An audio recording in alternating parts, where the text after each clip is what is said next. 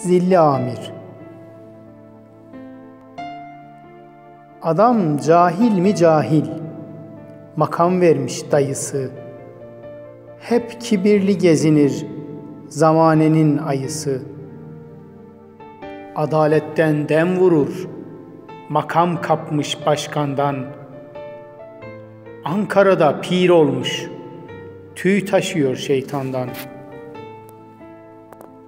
Ölüm onu kahreder, benliği dolmuş riya, hep ümmetçi geçinir, adam bilinir güya.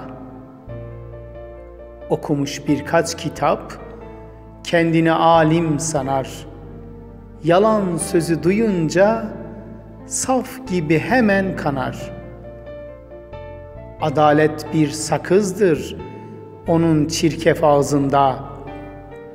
Benzer artık her hali Agob'un kazlarına.'' her devrin adamıdır. Yamukluk özünde var. Dürüstlük nedir bilmez. İnsanlık dilinde zar. Nerede bir yandaş görse müdür yapar okula. Sendika kıblesidir. Değer vermez akla.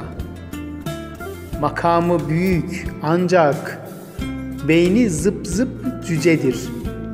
Elinden bir iş gelmez, öfkesi hep bizedir. Bir gün yolum düşmüştü makamı âlisine. Nerede dönek bulmuşsa toplamış çevresine. Görgü nedir bilmezler, hayadan muaftırlar. Partiden emir gelir, her biri ayrı hırlar.''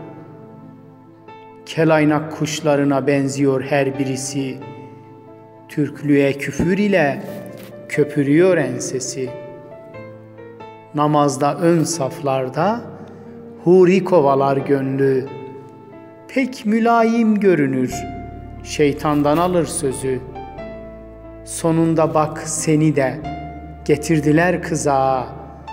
Başkan tuttu kolundan, fırlattı ta uzağa hala kul hakkı yiyip çeker misin besmele?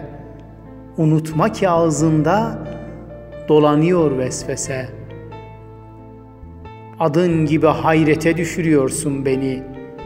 Her selam verişinde gösteriyorsun keli. Özü doğru nüfusta. Lakin yalan her sözü meclisin yollarında geçiriyorsun ömrü. Haşlak patlıcan gibi vıcık vıcık gülersin. Dost edinmişsin kibri, kafa tutar sinersin. Derse yarıda girer, lak lak edip çıkarsın. Menfaatin var ise sinek bile sağarsın.''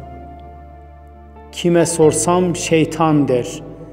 Bu üç zübükzadeyi İslam, adalet, cihat diye yerler her naneyi.''